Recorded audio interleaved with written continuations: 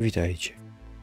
W ostatnim odcinku przedstawiłem w wielkim skrócie globalne powiązania wielkich holdingów działających zarówno na Ukrainie, jako producentów produktów rolno-spożywczych, jak również holdingów działających w Polsce i oczywiście w innych zakątkach świata, gdzie te produkty sprzedają nam konsumentom.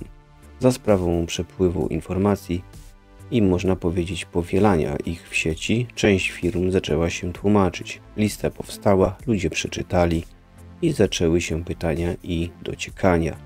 A jak czytamy na bankier.pl, lista została sporządzona na podstawie informacji od różnych służb. Natomiast lista opublikowana przez poprzedni rząd jest nieprecyzyjna i według niego niezgodna z prawdą. Kołodziejczak dodał, że informacje na temat importu są szokujące, ponieważ na Ukrainę według niego wypłynęło 6 miliardów złotych, czyli z Polski. Prowadzono 330 tysięcy ton zboża technicznego, rzepaku i kukurydzy, które zostały wprowadzone na polski rynek. Prawdopodobnie trafiły do konsumpcji. Najtańsza przywożona w zeszłym roku z Ukrainy pszenica kosztowała 51 zł za tonę, 20 razy poniżej progu opłacalności uprawy w Polsce, podkreślił wiceminister. Zarzucając, że lista jest jakaś lewa, no może trochę, bo jak czytamy na Business Insider, znam tę listę, nie jest ona może w całości prawdziwa, ale duża część danych, jakie tam są, to prawda, mówi Onetowi Czesław Siekierski. Największy bojkot i hejt poszedł na olej kujawski spod znaku firmy Bangie. Jak czytamy na portal spożywczy, zdecydowana większość nasion wykorzystywanych przez Bangie w Polsce pochodzi z krajowych upraw, pozyskiwanych ze wszystkich regionów kraju, podaje firma w specjalnym oświadczeniu dotyczącym importu zboża z Ukrainy. Jesteśmy światowym liderem w przetwórstwie nasion oleistych, oraz wiodącym producentem i dostawcą specjalistycznych olejów, tłuszczów i białek pochodzenia roślinnego. Bang jest także kluczowym graczem w handlu zbożem, pozyskującym na całym świecie podstawowe surowce rolne z miejsc, w których są uprawiane i dostarczającym je do miejsc, w których są potrzebne do zaspokajania potrzeb konsumentów, napisała firma w oświadczeniu. W ramach naszej regionalnej i globalnej działalności handlowej firma Bungie w 2022 roku importowała kukurydzę oraz śrutę słonecznikową z Ukrainy, z których większość została następnie sprzedana i wyeksportowana poza granice Polski. W ciągu ostatnich pięciu lat Bunge nie importowało do Polski ukraińskiego rzepaku ani oleju rzepakowego, napisano. I ostatni komunikat Przestrzegamy rygorystycznych standardów jakości i kontroli w całym naszym łańcuchu dostaw od pozyskania surowca przez proces produkcyjny aż do momentu dostawy do naszych klientów końcowych. Wszystkie nasiona i składniki używane w naszych produktach przechodzą kontrolę jakości, aby mieć pewność, że nasze produkty są bezpieczne i zgodne ze standardami Bangie oraz wszystkimi obowiązującymi przepisami krajowymi i unijnymi podsumowano.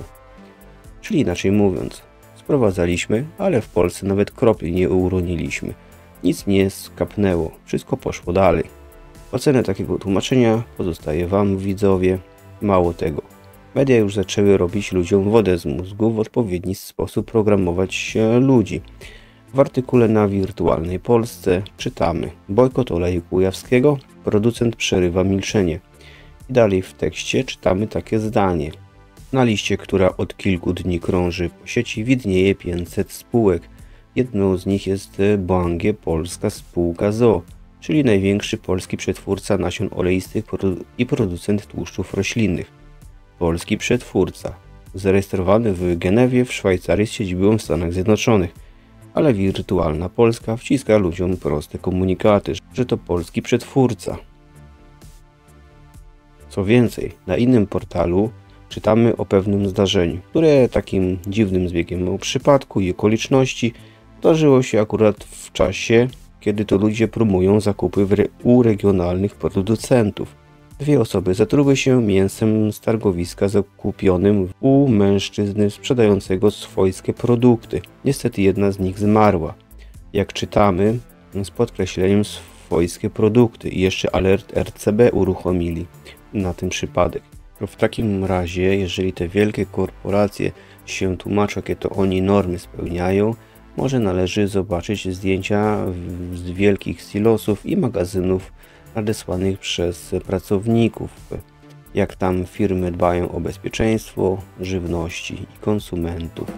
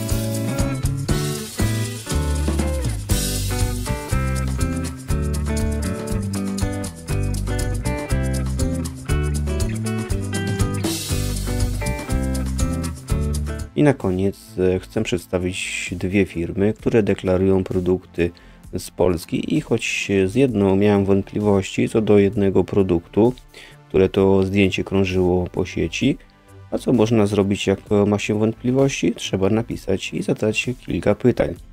No i zadałem proste pytania. Czy wasza firma Quospol kiedykolwiek sprowadzała produkty spożywcze z Ukrainy? Czy prawdziwe jest zdjęcie krążące po sieci z produktem mieszanka ziół zamiast soli z napisem kraj pochodzenia Ukraina. W odpowiedzi uzyskałem taką odpowiedź. Nie jesteśmy importerem produktów. Wszystkie produkty, które zakupujemy są od polskich firm, również takich, które importują towar. Mieszanka ziół zamiast soli, jak dotąd była cały czas polska – Atest z przedostatniej dostawy wskazywał, iż kraj pochodzenia to Ukraina. Dlatego też na etykietach i w opisach tego produktu taka informacja została umieszczona. Ostatnia dostawa przyszła z atestem, że jest to produkt polski i taki w tej chwili sprzedajemy. Na około 1000 pozycji sprzedawanych mieliśmy 3 pochodzące z Ukrainy. Nie oszukujemy i nie umieszczamy nieprawdziwych informacji. Jesteśmy pod stałą kontrolą sanepidu, nie sprowadzamy ziarna z zagranicy. Ziarno do produkcji jest polskie, kasza zakupowana od gospodarstwa rolno-przemysłowego. Nie wszystkie produkty da się mieć e, polskie, przykład pieprz, banany, daktyle, cynamon, ryże czy wanilię. Nie wszyscy to rozumieją. Powstała straszna nagonka, nasi klienci nie wiedzą, co się dzieje. To, co się teraz dzieje, prowadzi do niszczenia polskich przedsiębiorstw, bo ma się w ofercie ukraiński produkt. Mam nadzieję, że te trzy produkty, które mieliśmy w ofercie, a klienci je dostali, nie przeważą nad tym, na czym bazujemy, czyli produkcją mąk. Pozdrawiam, Beata Gil no przynajmniej szczerze, jest uwzględnione na etykiecie, co i skąd pochodzi. Druga firma to Młyny Szczepanek, które tu mm, już w oficjalnym oświadczeniu wykluczyły import zbóż z Ukrainy, deklarując produkcję z regionalnych nasion.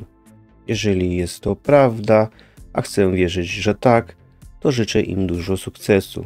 Jeżeli materiał uważasz za wartościowy w torze informacyjnym, pozostaw kciuk w górę i pozostaw suba, jeżeli jesteś tu nowy.